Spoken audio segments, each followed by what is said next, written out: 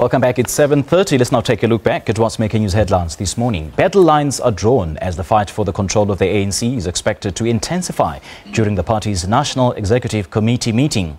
The crucial weekend gathering comes at the time when there are growing calls for President Jacob Zuma to step down as head of state. The NEC meeting began last night, but it's understood that mainly administrative issues were dealt with during a brief session. According to sources, some NEC members, including party veterans, will push for for, the Zuma matter to be discussed. However, it's believed that Zuma allies in the powerful NEC will oppose any move to have the call for Zuma to leave office to be discussed. Minister for Women and Children Susan Shabangu says it's time government started working with people on the ground to address their concerns. Shabangu joined almost 2,000 people who marched from the University of Johannesburg Soweto campus to Regina Mundi Church against women abuse yesterday. This is part of the hashtag Not In My Name campaign following several recent cases of women who've been raped and murdered.